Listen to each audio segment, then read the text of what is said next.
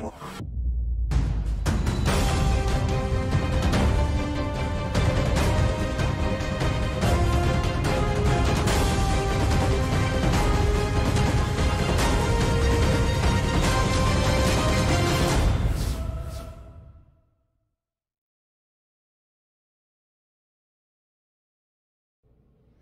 Hello my Cancer friends, it's Guiding Halo. This is going to be your reading for the month of April.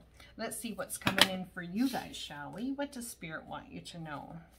There's going to be wondrous events happening for you. It's almost like, I think this happened in your full moon on the 18th reading too. It's like a spiritual chakras aligning. Okay, well we have diligence, purification, going forward, so, purifying things, working with diligence, step one foot in front of the other. Let's find out what's coming in for you guys in April.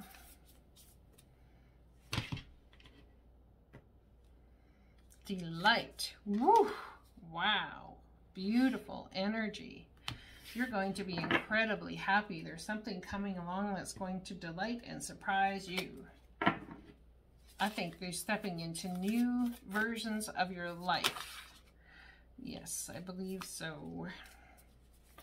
New versions of your life. It's like finally feeling spring, feeling the birds, hearing the birds, feeling like it's a fresh new start, a fresh new day.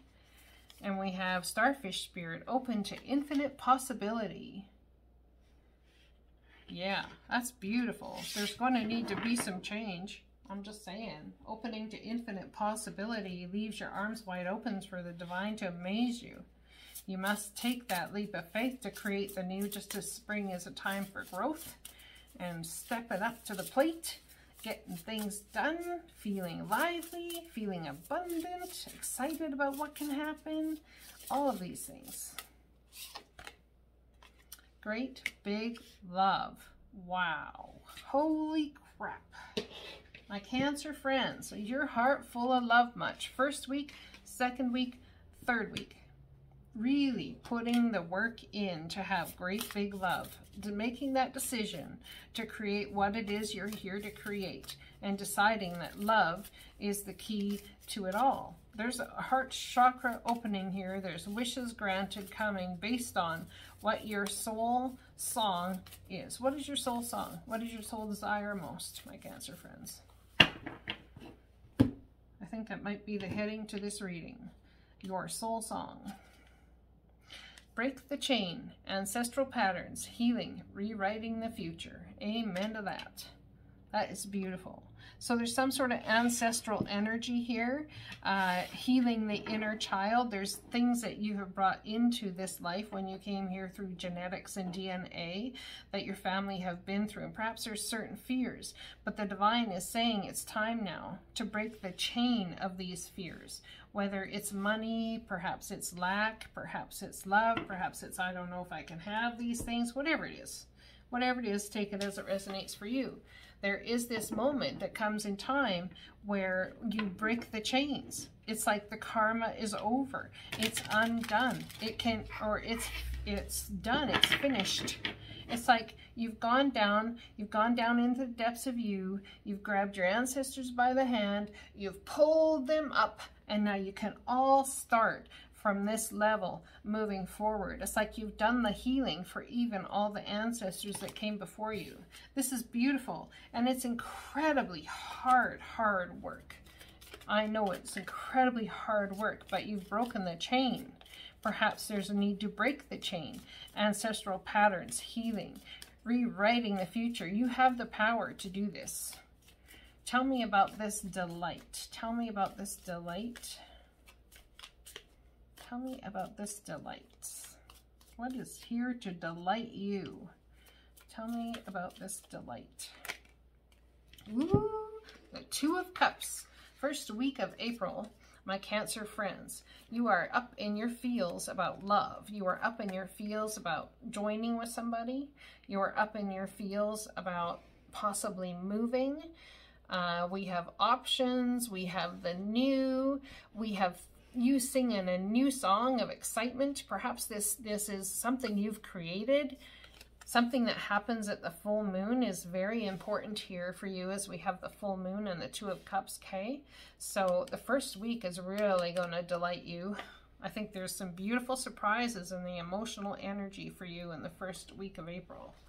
How beautiful is that? Delight. Very delighted about decisions made, about things that are happening. Your heart finding a home. I feel like someone's heart's finding a home opening to infinite possibilities. Someone is more like you than you ever expected. There's a wish is granted. But it doesn't come without change. Open to infinite possibilities. Opening your arms wide and asking the divine to surprise you. The high priestess really stepping into your intuition here. Becoming incredibly wise. Knowing that there is value in the wait. Now, this could be you or this could be your person. This could be really embodying the intuition that says there are infinite possibilities. We don't have to decide on the basics of every little thing right now. But I'm open to the possibilities that anything can delight and surprise me. Tell me about this great big love. Wow. You guys are powerful this month so far. My Cancer friends, you guys got it going on. Open to infinite possibilities. Tell me about this great big love. Everything is unknown now, isn't it? The unknown card.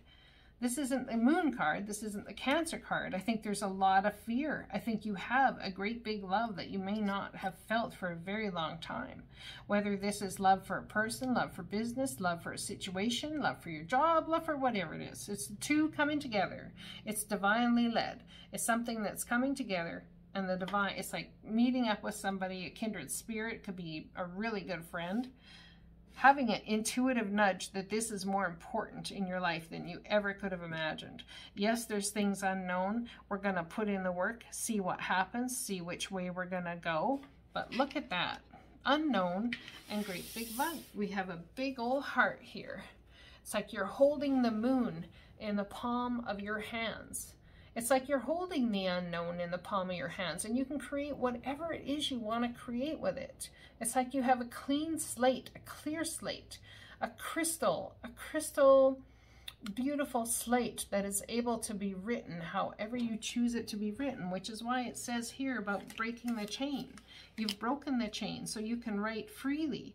You don't have to break the chains for anybody else now rewriting the future. It doesn't have to look like what you thought you didn't deserve. It doesn't have to look like what you thought the family said it should be. It doesn't have to look like any of that. It can absolutely look like what you just desire it to look like with open infinite possibilities and what will delight and surprise you. Look at that. King of Cups, Cancer, Pisces, Scorpio. You could be dealing with a Pisces, my Cancer friends. Uh, Four of Pentacles, holding on tight. There's there's concerns about where to invest your money and finance. So I'm going to say that this breaking of the chain has to do with money and finance, about fear of having enough. Do I have enough to make whatever this is, this beauty that's in my life and this thing that's making me incredibly happy? Do I have enough to make a go of it? And the divine is here to say, break the chain of holding onto your money so tightly that you lose balance in your emotions. This is an ancestral pattern with you about money, about lack, about whichever. And the divine is asking you to have healing in this. You get to rewrite your future, but there's some sort of thing about it's better going it alone. That's what you've been taught. It's better going it alone. But the reality of the scenario is, the divine's bringing in somebody so you don't have to go alone with. Or, you know, you don't have to go alone anymore. You can go through life with.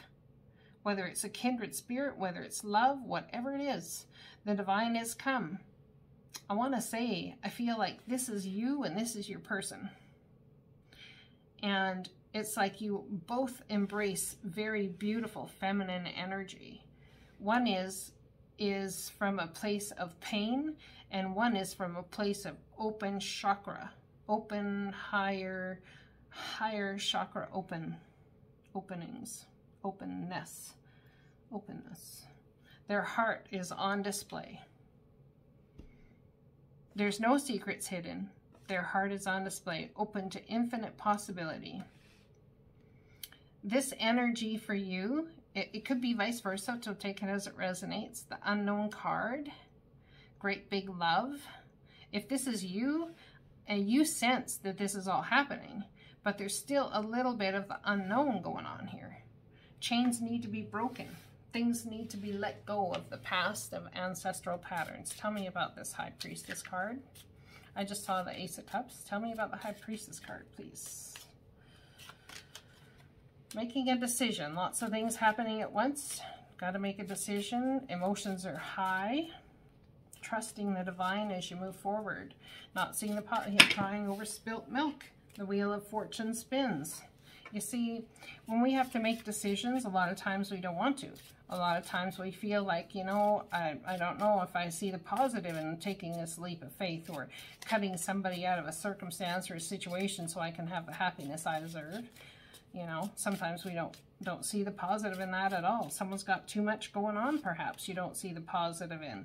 The unknown, all up in your head, a temporary self-imposed prison about this thing that's great big love that you have. Is it great big love or am I kidding myself? There's too much of the unknown. I'm not sure what to do. That's the third week. The second week, you're like open to infinite possibilities, but somebody's got to make a decision. Tell me about this Two of Cups in the first week delight, two of cups, happiness, surprise. Wow, clarified by the two of cups. I wonder if there's two circumstances or situations that very well may delight you and there needs to be a decision made. There's some sort of toxic tie to what your belief set is about relationships. Perhaps your relationship to love, your relationship to sex, your relationship to your shadow side as well. It could be many different things. It could be deciding between two people, two relationships. But there is some sort of delight coming in. Oh, my eyes are itchy. I wonder if someone sees you a little bit too clearly for your liking and you're you're you're or you see someone else a little bit too clearly for their liking tell me about this break the chain there could be a Virgo at present, someone very wise, sage energy, wanting to move forward, being able to shine a light forward for you to help break this chain of lack, the fear of lack. And bam, we have the Ace of Pentacles bringing in a new opportunity for you to step forward into. This is beautiful. Someone may be getting engaged by the end of April, seems. Someone may have a new job, be offering money, something. This is a huge opportunity based on all of the work you've done so far. This comes after, in my opinion, the King of Pentacles, building a solid foundation financially, and then the new thing happens. This is a beautiful reading, my Cancer friends. Dearest you, there are times you get lost but refuse to see your part in things. Happens to everyone. Something feels familiar but sort of off. If you're feeling confused, it's best to throw away the map you're using ancestral patterns. That's the map you're using, which only lets you navigate based on your past experiences. That isn't what you need right now. Instead, take a deep breath and open to the truth. A desire to stay in denial means that part of you doesn't want to be responsible for the pattern that shows up in your life. Yes, this is the right time to wake up and start again. By the way, you will always get another chance. You have unlimited chances to start again.